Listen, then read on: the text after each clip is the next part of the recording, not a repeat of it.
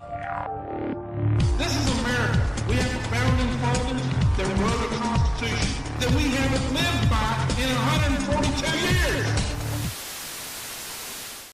southwest of Yellowstone. Could be part of a magma chamber arm, which reaches into central Idaho from Yellowstone's supervolcano.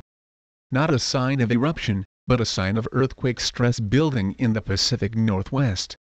So far, we've seen a 3.4 m, 3.1 m, 2.9 m occur within minutes of each other. This new swarm occurring east of Oregon, at the Idaho-Wyoming border, which is located directly along the edge of the North American Craton.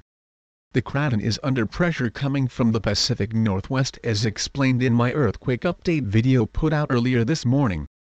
The pressure from the PNW causes displacement along the edge of the Craton. We saw signs of the building pressure via 4.2 m plus 3.1 m seismic events, which showed up along the southern edge of the Craton in Oklahoma and Alabama.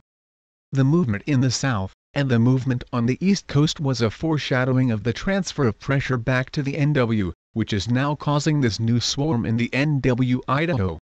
Watching the coast of Oregon for possible larger movement, this new earthquake swarm occurring due east of Oregon by one state means pressure island indeed building to the west NW.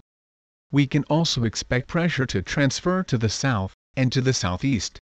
South from Mono Lake to Los Angeles, and southeast towards Colorado, Texas, and Kansas.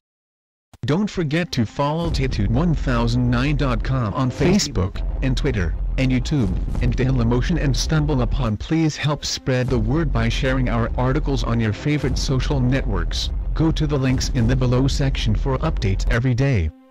From my cold dead hands abolish the corporate government.